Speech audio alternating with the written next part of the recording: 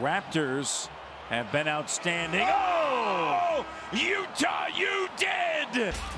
Utah Watanabe, you did! Raptors. And hopefully I can keep finding more minutes for him out there on the court.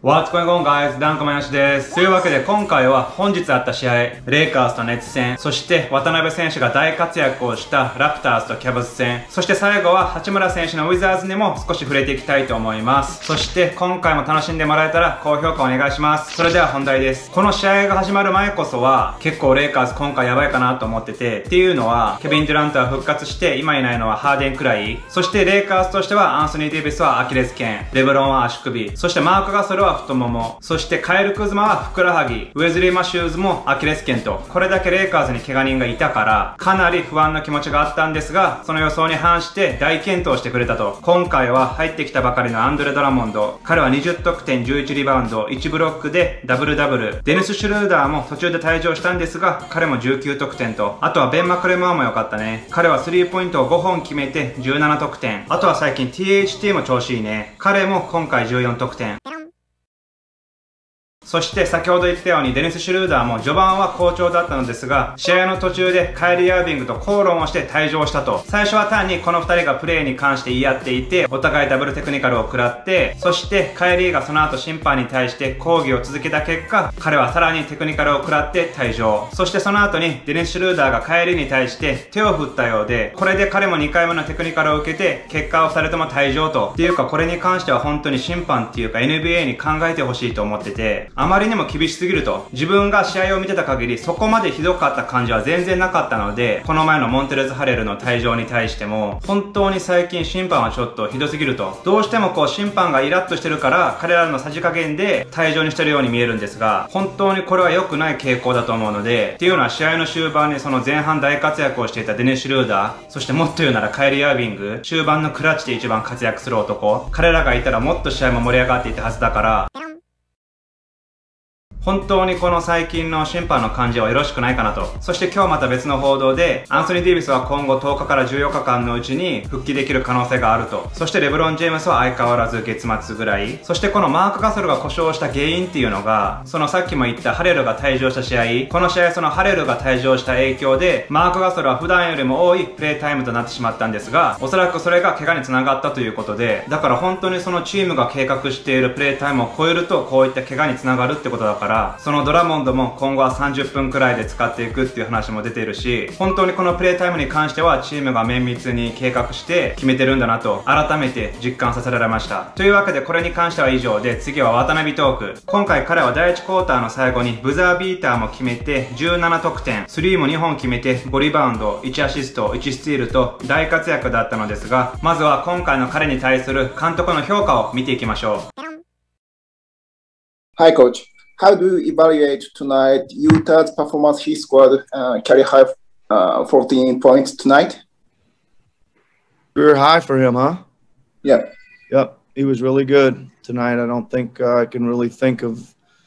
many mistakes. Again, he's a he's a he's a positive player in that that fashion. He doesn't make mistakes. He got some opportunities just because of his continuous running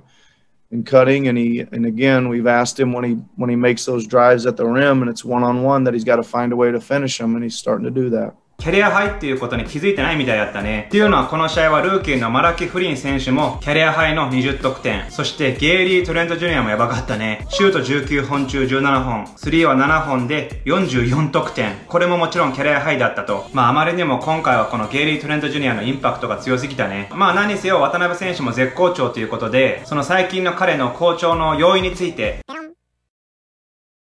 Yeah, um, So this is the fifth game for Utah to play more than 10 minutes. Do you think um, he's getting more comfortable offensively?